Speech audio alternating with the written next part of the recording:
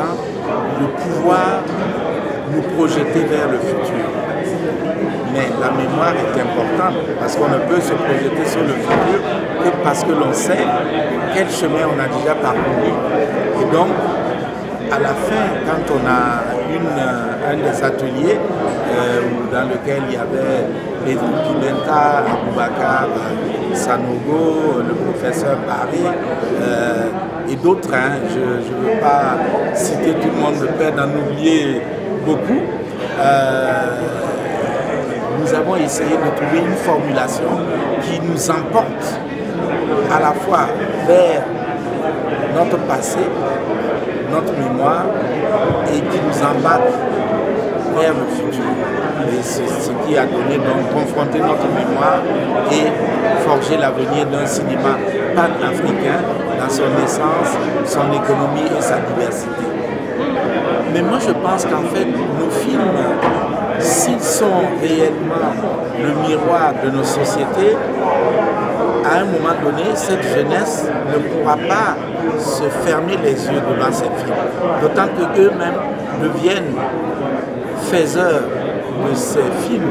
C'est leurs imaginaires nouveaux qui sont devenus peut-être hybrides, mais les racines, les empreintes, les traces restent. Et donc, ce que nous voulons aussi, en parlant de mémoire, c'est qu'ils se souviennent que même s'ils sont attirés vers peut-être d'autres horizons aujourd'hui, il ne faut pas qu'ils se comportent en personnes qui sont tombées du ciel.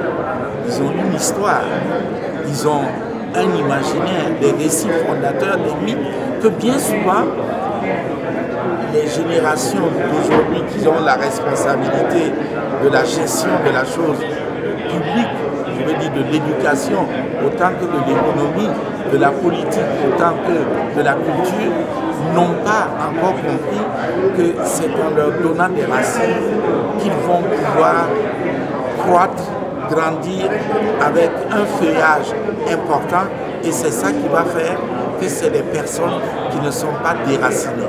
Donc cette jeunesse, il faut qu'elle comprenne que personne n'a envie de les entraîner dans une sorte de nostalgie euh, improductive. Mais il faut qu'ils sachent que vu qu'ils ne sont pas tombés du ciel, c'est ça qui donne la force pour aller plus loin, pour se découvrir dans de nouveaux regards, dans de nouvelles perceptions, dans de nouvelles euh, euh, volontés de s'inventer. On ne peut pas s'inventer si on n'a pas déjà un soubassement. Voilà. Donc on peut s'éloigner à 3000 km/h dans le cosmos si on veut, mais cela est nécessaire et important. Donc c'est un dialogue intergénérationnel que nous essayons d'établir. Les autres, au moment où ils faisaient ce qu'ils faisaient, ils étaient complètement dans une sorte de, de révolte totale. Ils ont fait des films importants qu'il faut apprendre à regarder, à comprendre. Et on verra que de leur temps, ils étaient aussi révolutionnaires et aussi rebelles que le sont les jeunes d'aujourd'hui.